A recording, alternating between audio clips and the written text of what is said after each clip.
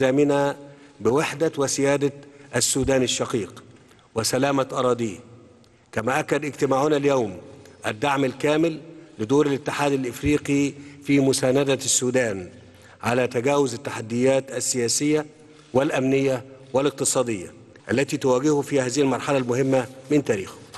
كما توافقنا على أن هناك حاجة عاجلة لمعالجة الأوضاع الحالية في السودان استنادا إلى سرعة استعادة النظام الدستوري من خلال عملية سياسية ديمقراطية يملكها ويقودها السودانيون أنفسهم بما يحقق آمال وطموحات الشعب السوداني لإرساء نظام سياسي ديمقراطي شامل وترسيخ حكم القانون وحماية وتعزيز حقوق الإنسان وتعزيز التنمية الاقتصادية المستدامة والفعالة بمساندة الاتحاد الإفريقي والمجتمع الدولي.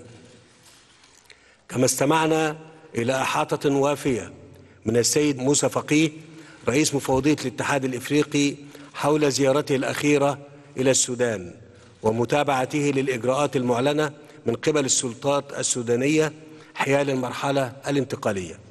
وتوافقنا على الحاجة إلى منح المزيد من الوقت للسلطات السودانية والأطراف السودانية لتنفيذ تلك الإجراءات.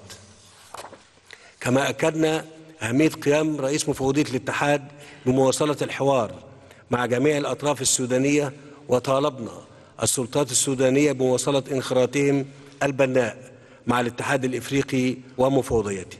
وتوافقنا أيضا على حث المجتمع الدولي على مواصلة دعمه وعلى تقديم مساعدات اقتصادية عاجلة للسودان في ظل التحديات الاقتصادية الراهنة التي يشهدها.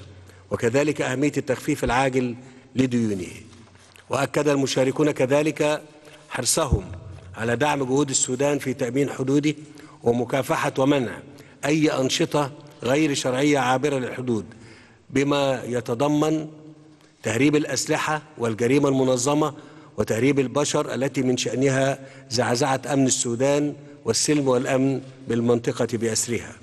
كما وجهنا وزراء خارجية الدول المشاركة بعقد اجتماع متابعة في خلال شهر للنظر في التطورات بالسودان ورفع تقرير إلى رؤساء الدول والحكومات وشكرا.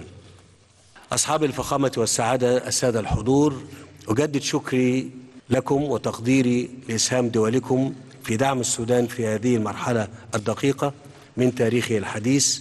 وأكد أهمية مواصلة التشاور والعمل على تنفيذ ما توافقنا عليه اليوم.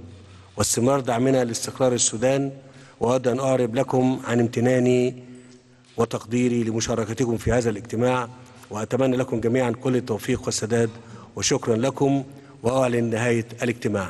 شكرا جزيلا.